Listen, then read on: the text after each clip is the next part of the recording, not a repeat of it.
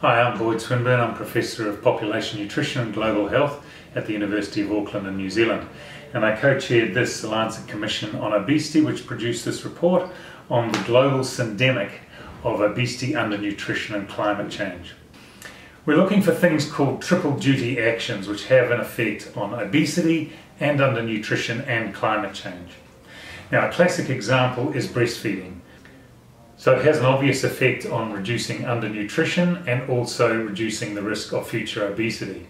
But it also has an effect on reducing climate change because there's less demand for infant formula, which means there's less demand for cow's milk and less greenhouse gases being produced by the cows.